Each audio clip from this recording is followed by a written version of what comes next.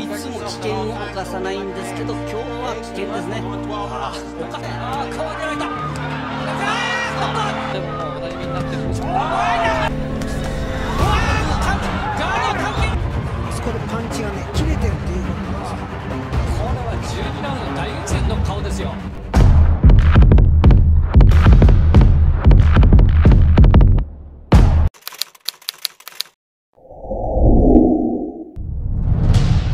Kababayan ni Lomachenko, nawasak ang ilong sa kamao ng Pinoy. Ang tinaguriang The Filipino Flash ay noon pa man ay parang elite fighter na kung lumaban. Sa pag-akyat nga nito sa Bantamweight Division noong 2010, ay hinarap niya ang dating title holder ng Ukraine na si Volodymyr Sydorenko. At sa labang ang ito ay nagmukhang walang kabuluhang kalaban ang dating Ukrainian champion. Habang nasa dressing room pa si Donaire mga bay, ay sinabi nga nitong handa siya sa kahit anong ibato ni Sydorenko sa kanya at planong manatiling unpredictable sa laban. Pinangangasiwaan ni Michael Buffer ang pagpapakilala sa mga manlalaban mga bay at ito ngay naka-schedule sa 12 rounds of boxing para sa bakanting WBA belt. Ang mandirigma ng Ukraine na si Volodymyr Sydorenko ay bitbit ang kartadang 22 wins with 7 knockouts at dalawang talo at ito nga rin ang unang beses niyang mapalaban sa Estados Unidos. At ang The Filipino Flash ay may kartadang 24 wins with 16 knockouts na may isang talo at hindi pa nga ito nakatikim ng pagkatalo mula noong ikalawang professional fight niya noong 2001. Bago ang lahat mga bay ay huwag kalimutang pindutin ang like at subscribe button pati na rin ang notification bell para maging updated ka sa ating mga bagong videos. Kapansin-pansing mas malaki ang katawan ni Donaire sa labang ito mga bay. Sa umpisa ng laban ay unang nagbato ng pansamantalang body shots si Saiborinko habang si Donaire naman ay nagja-jobs.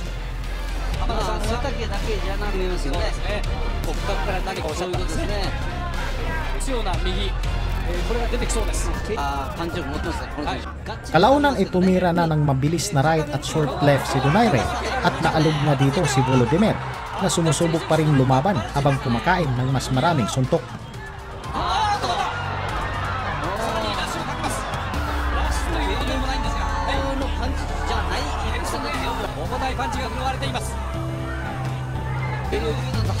パンチを打とうという風に意識が、気つきすよね。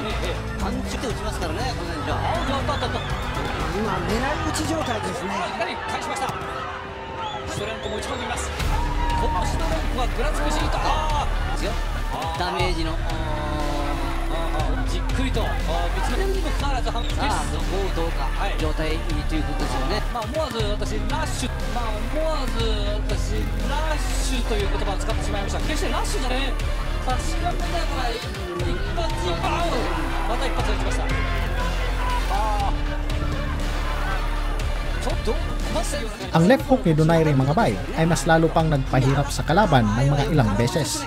At isang mapanirang overhand right ang naghatid kay Sydorenko sa lona sa huling bahagi ng round na halos hindi na makayanan ng Ukrainian fighter na lumaban.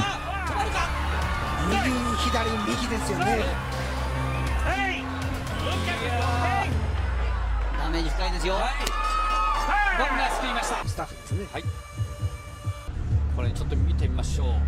左右ですよねダメージ深いですよはいバンが救いましたスタッフですねはいこれちょっと見てみましょうまずこの辺でもう踊らされちゃってますがっちりと顔面をお守ってるんですけどね最後のあいつこのパンチです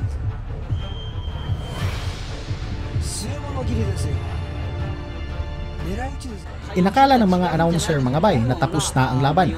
Ngunit tumayo pa si Sydorenko para lumaban pa sa pangalawang round. Napakahusay ang mga pagbitaw ng suntok ni Donaire Mangabay at sinubukan nga ni Saydorinko na sumugod pero walang epekto sa Pinoy. At ngayon nga'y pulang-pula na ang mukha ng kalaban.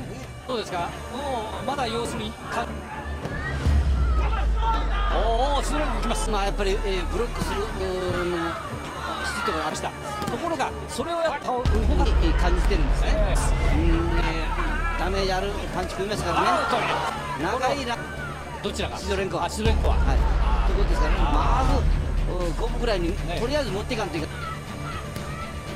確かに対角おおはいシドレンコの戦い方ももっと距離詰めないとダメだこの距離から打てばいいんですけどね、ええやっぱり、えーディフェンスがなかなか離せないアウトと落とされる吹っ飛ばされますねマジで顔が真っ赤になってますスイッチしましたねおお Sabi ng kampo ni Donaire mga bay ay kaya na nitong tapusin ang laban. Nakikita nga rin nating nagpapalit ng stand si Donaire mula orthodox to southpaw pero sa aking palagay ay hindi na niya kailangan ang anumang tricks para tapusin ang kalaban. サイドステップしながら左ひょいひょいもうドネアの独壇場を見せ始めましたノリトドネアです Hindi pa rin nawawala si Saidorinko sa laro mga bay at nagawa pa nitong makatama ng suntok.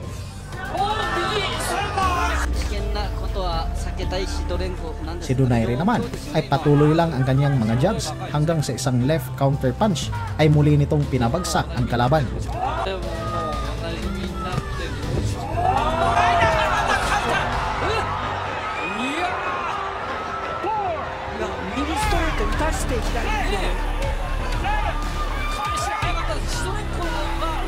Muli pang nakabangon si Sedorinko mga bay nang halos apat na pong segundo na lang ang natitira sa oras pero kalmado pa rin itong Pinoy at hindi minamadali na tapusin si Cyberingko.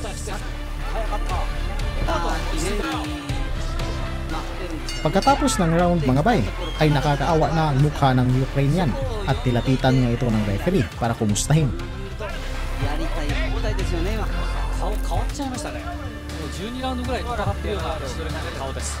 10対8、えっと、ドネアです、ね、リプレイを見たいですね。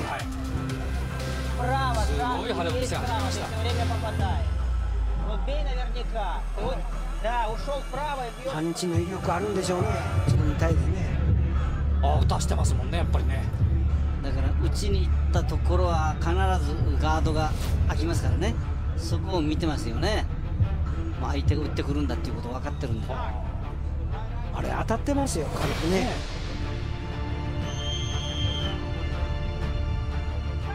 Duguan at bugbog sarado na itong si Saidorinko mga bay. Napilit pa rin lumalaban dito sa round 4. Sa ganitong kondisyon ay determinado pa rin ito na kumonekta kay Donaire para maipagpatuloy ang laban. ちょっともう勝てないですからねそこしかないんでしょうね前にあこういう動き出る前に出ると危険ではあるんだけどお チャンスもあるということですねああなるほどまあだったら前に出ますよね Dahil sa bagsak na ang mga paa ng kalaban mga bay, ay ikot-ikutan ito ni Donaire sabay bato ng mga jabs at power punches. At sa isang 1-2 combination ng kaliwa at kanan ni Donaire ay napaluhod na lang si Saidorinko. Sa paglapit ng referee ay nakita nito ang pinsala ng Ukrainian kung kaya't itinigil na agad nito ang laban.